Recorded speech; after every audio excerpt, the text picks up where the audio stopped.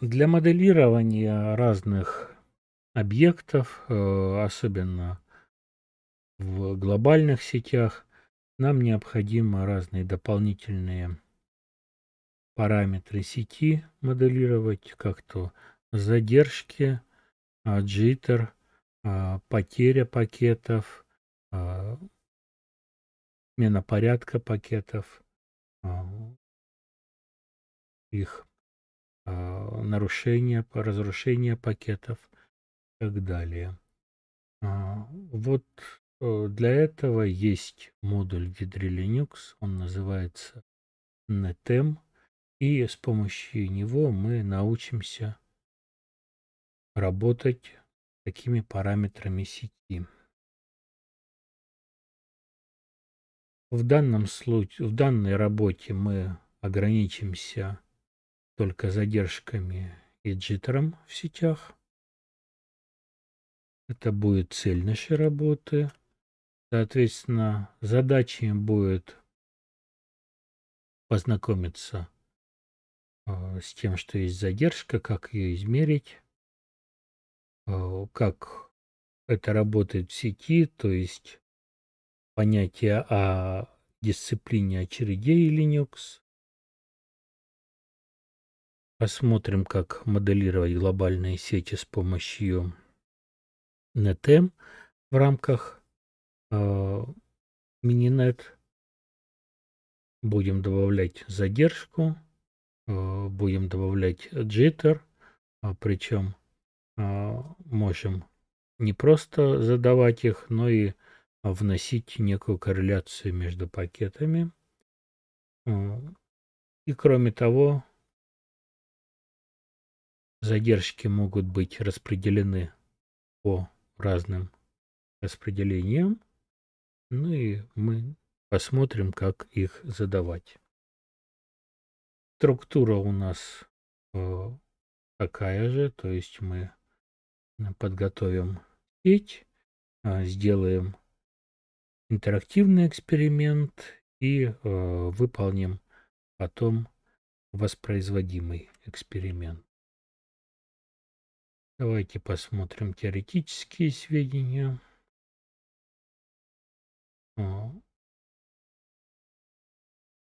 Ну, что такое NetM? Это э, маленький эмулятор, модуль эмулятора. Э, он создан для тестирования производительности и в реальных сетях, и э, в приложениях э, лабораторных, где создается виртуальная сеть. Соответственно, там э, определенные параметры можно генерить. Ну вот, задержку, дублирование, потери пакетов. То есть то, что возникает в глобальных сетях из-за того, что наши линии передачи не, не идеальны. NetM э, это сам по себе модуль. Он э, связан э, со структурой дисциплин обслуживания ядра Linux и у нас есть утилита командной строки для работы с такими дисциплинами а, обслуживания. Значит, э, ну да, протокол IP у нас э, по умолчанию делает дисциплину обслуживания типа FIFO. А первый пришел, первый обслужен ну или как она еще по-другому называется, очередь.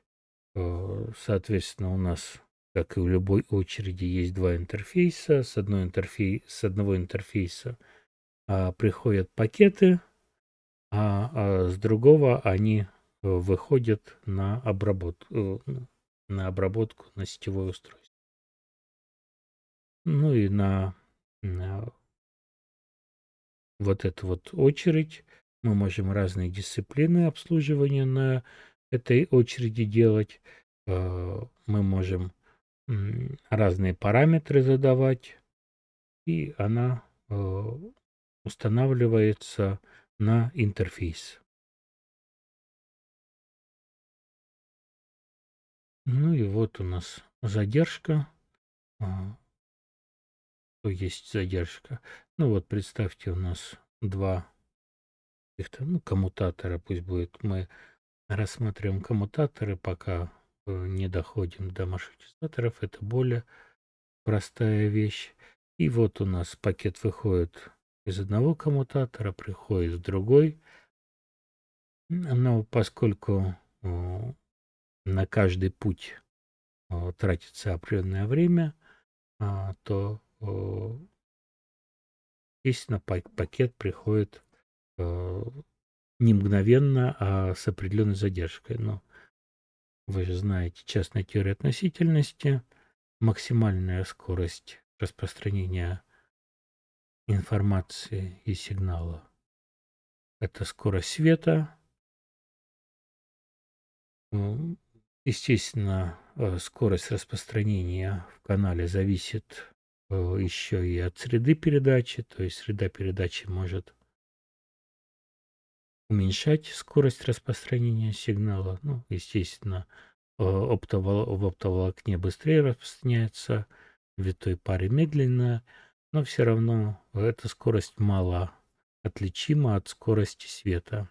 То есть фактически у нас распространяется электромагнитная волна, и э, наш провод, витая пара, оптоволокно и так далее – является э, всего лишь навсего волноводом, то есть к ней, грубо говоря, прицепляется электромагнитная волна и добирается из пункта А в пункт Б.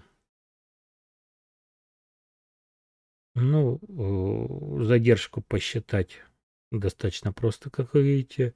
Возьмем расстояние между двумя а, точками и поделим на скорость распространения.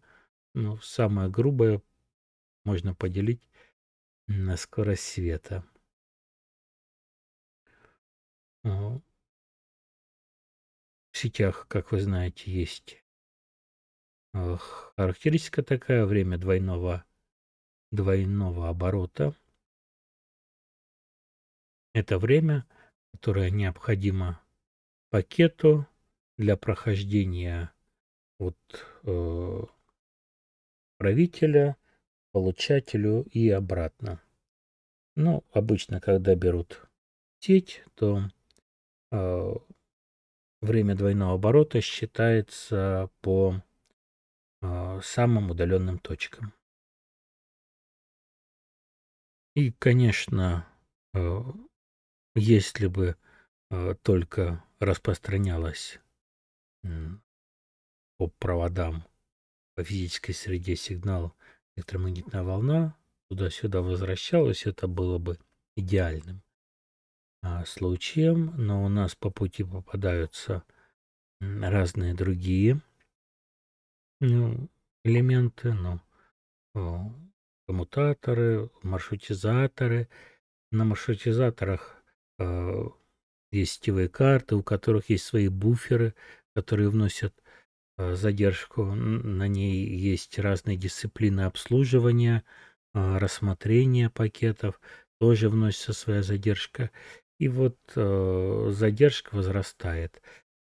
Но эм, если у нас сеть достаточно большая, так что элементами задержки на устройствах можно пренебречь, то, в принципе, Э, время двойного оборота является достаточно хорошей оценкой задержки распространения сигнала. Подготовим стенд.